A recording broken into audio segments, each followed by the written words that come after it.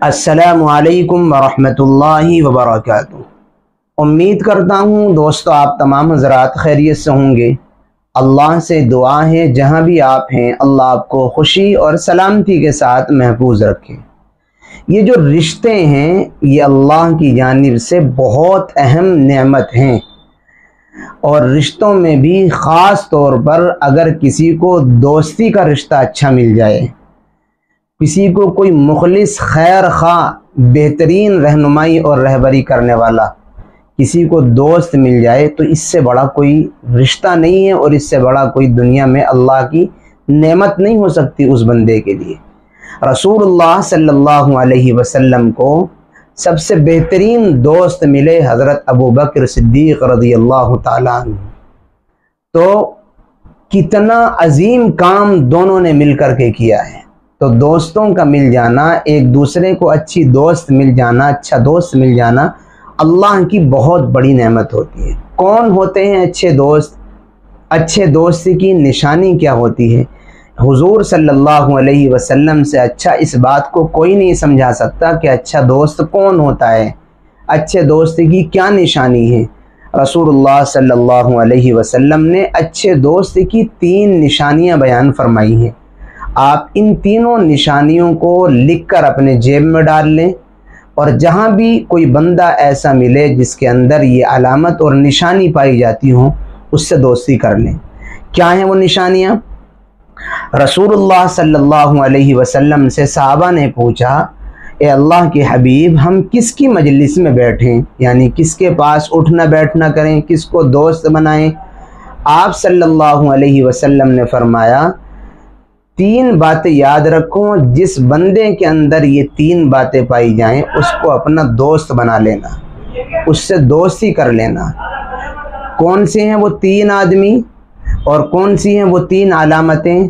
फरमाया रसूलुल्लाह सल्लल्लाहु अलैहि वसल्लम ने, जिसको देखकर तुम्हें अल्लाह याद आ जाए। ये अच्छे दोस्ती की पहली निशानी है। जिसको देख कर के आपका ध्यान, आपकी तवज्जो अल्लाह की जानिब चला जाए। अल्लाह की जानिब जिसका दीदार आपको मोड़ दे। तो ये अच्छे दोस्त की पहली निशानी है। ऐसा नहीं कि आप ऐसे दोस्तों के पास उठे बैठें जो हर वक्त गुनाह में लगे रहें। मासीत ही उनसे होती रहे। कभी वो अल्लाह की जानिब रुजू ही ना करते हों।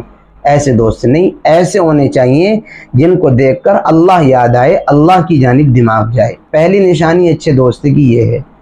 और दूसरी बात, रसूलुल्लाह सल्लल्लाहु अलैहि वसल्लम ने इरशाद फरमाया, दोस्त ऐसा बनाओ जिसकी बात से तुम्हारे इल्म में इजाफ़ा हो मालूम में इजाफ़ा हो, तुम्हारी नॉलेज बढ़े।